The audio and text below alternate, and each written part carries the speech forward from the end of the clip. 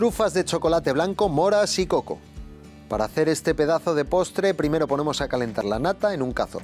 Mientras se pone a hervir, troceamos el chocolate blanco en trocitos pequeños y así se fundirán antes. Añadimos la ralladura de naranja y el coco rallado.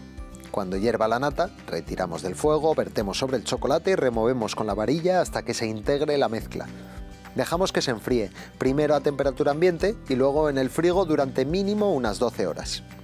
Una vez fría, pasamos la masa de trufa a la montadora, que no hace otra cosa que montar la pasta y airearla, fíjate tú. Después ponemos la crema de trufa en una manga pastelera y depositamos porciones sobre las moras de manera que se cubran. Ahora la metemos un rato al congelador para que se endurezca. Espolvoreamos más coco rallado, un poquito de cacao puro en polvo y servimos. Y a disfrutar, claro. Que os aproveche.